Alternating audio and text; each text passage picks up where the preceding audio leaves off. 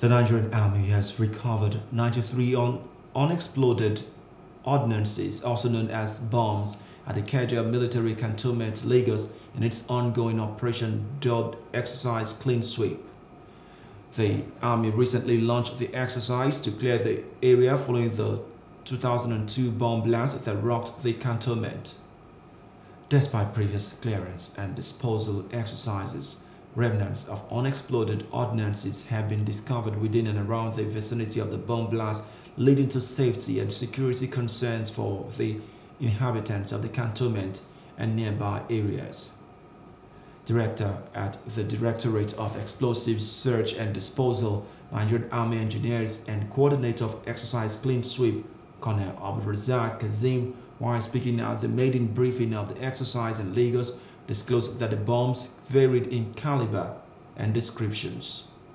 So we mark them with different colors. You have the blue, you have the green, you have the amber, and you have the red. So the epicenter is in red, and it keeps on. So those particular areas that I saw it are actually the amber areas that are not within the epicenter. So in as much as they are non-sensitive, we still have restrictions on them. If you move around the cantonment, you see where the cantonment commander has placed before even the commencement of this exercise. There are signs and markings that the cantonment commander and the Nigerian army authorities have put in those general areas.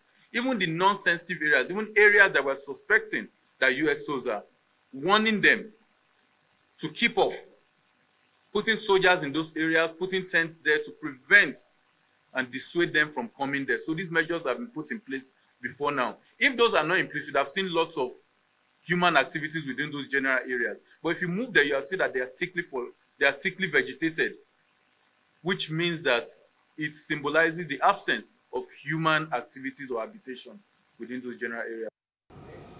Also speaking, the safety officers for the exercise, Lieutenant Colonel Olusheyi Bamikole highlighted that adequate equipment, demarcations, and trained personnel have been made available to identify UXOs before recovery.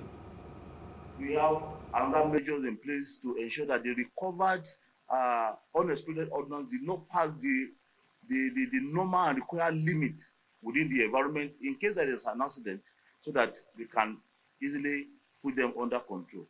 And also as regards the disposal of the of those that will be safe for movement to the demolition site. Uh, before that, we have conducted different inspection and recce of the site where the demolition uh, exercise will take place.